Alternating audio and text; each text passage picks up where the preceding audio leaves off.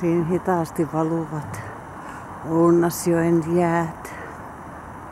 Siihen on sattunut ihan kuin antennit maailman tämän jäälauton päälle, joka vaipuu hiljalleen valjuu, valjuu, lipuu kohti Kemijokea.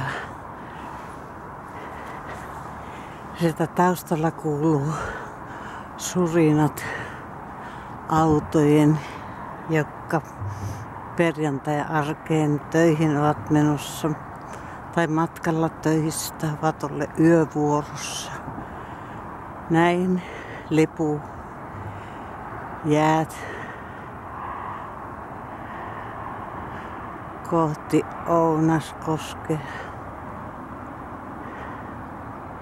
Tai ensin ne on matkalla Jätkän nelostien sillan alette. Sitten Jätkän kynttilä. Ja niin rautatiesillan.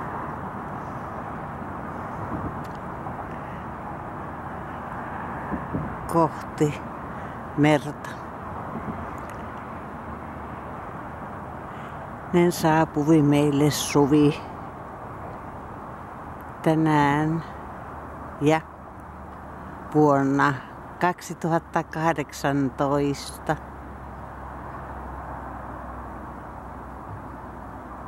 Hyvää perjantaita jokaiselle ja tulevaa alkanutta suvea aurinkoista.